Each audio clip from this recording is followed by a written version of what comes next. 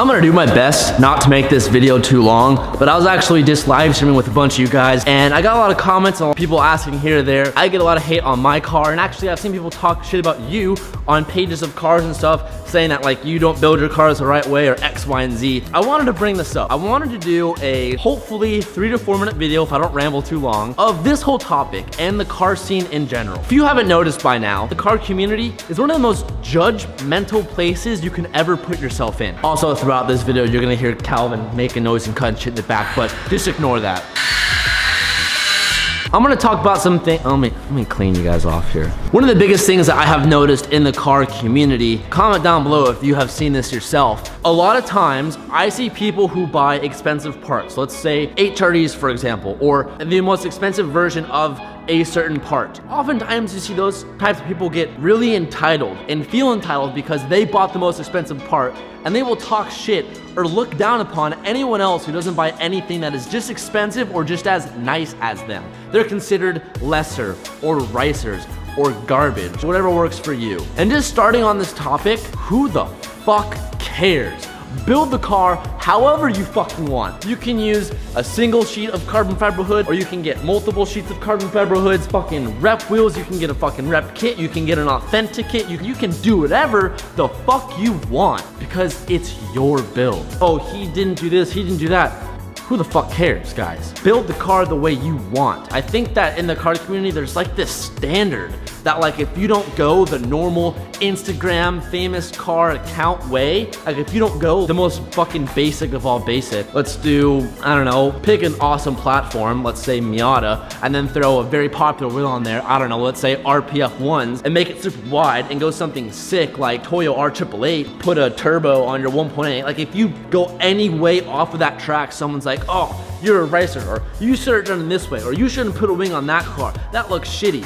Like, there's people out there who build their cars for Instagram. When I say that, I mean like, hey, that's perfectly fine. Like, you can do you. Like, do whatever the fuck you want.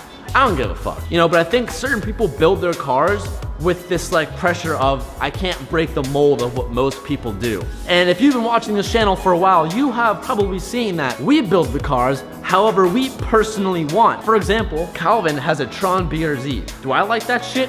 Fuck no. But I know he loves it, and that's awesome. So Calvin, you do whatever the fuck you want. I like that. I appreciate that. We have me. I like the fucking purple looks. I went purple. Everyone does their own thing. And I think the most important thing, at least for us, what we stand for is who cares what you do to the car, how you do to the car, or how long it takes you, or whatever the way you do it as long as as you're doing it, you're having fun, and that's it. At the end of the day, if you're having fun while doing it, then I think you're winning. You know, I don't think you need the most expensive part to have a good time. I don't think you need the most expensive tools to make that shit happen to have a good time. You can go get outside help and have someone pay to do something for you if you don't know how to do it, or you don't have the space to it, you don't have the tools to do it. Who the fuck cares? Let people talk shit about your build if they are. Let people tease you for this, this, that. At the end of the day, as long as you're having fun, that's all that matters. There's a big the car scene can be a very judgmental place, and it is my goal to slowly, slowly change that and make it a more welcoming and a friendly place. Because I know that if you are in the kart community, you know groups out there who fucking look down and talk shit to everyone who isn't them.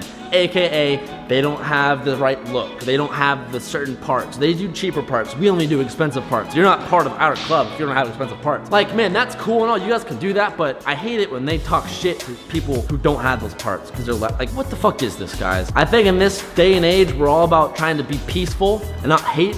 And there's so much hate in the world. Why are you fucking hating? Why don't we all be friends? And, and, and be happy and have fun together. I think that's more important.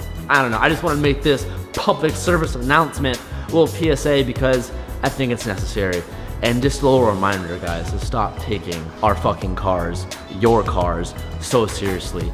It's a toy for most of us, unless it's have fun with our toys. Can, can we do that? I, I hope so. Thank you so much for watching, guys. If you agree with what I'm saying, give this video a fat thumbs up and comment down below. Support the cause. I will see you next time, bros. Peace out and keep moving forward.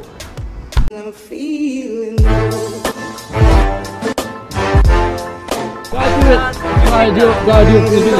Gotta do it for the video. All right, Calvin. Imagine I'm Emily. No. Hi. I did. Hey, Calvin.